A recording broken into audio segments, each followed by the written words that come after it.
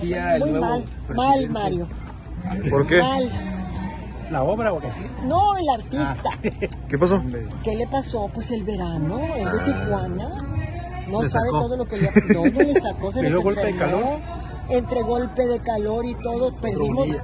No, perdimos como dos, tres meses. Pues imagínense 40, 50 grados abajo y él arriba de la canastilla. Andamos atrasados. Sí, estamos atrasados. Pero lo vamos a lograr. ¿Estará listo para antes de la Serie del Caribe? Hará. ¿Habrá una exigencia de cumplimiento?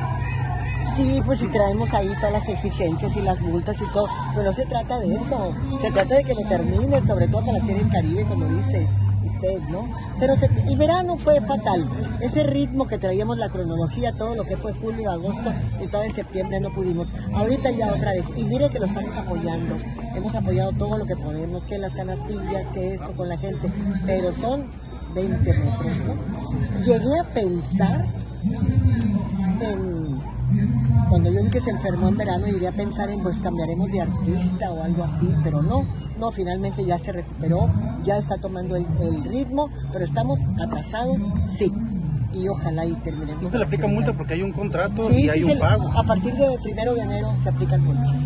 Si no Este termina, va a ser otro... ¿Cuánto? Este ¿Cuánto va a de ser multa? otro tema, si no lo termina termina. primero de enero, aplica multa para 31 de diciembre empiezan las mesas, ahí está el contrato. Tiene usted toda la razón, pero no lo quiero ni decir eso porque lo voy a presionar más. Es un artista. ¿De cuánto sería la multa, alcaldesa? No sé. ¿Cinco millones? No.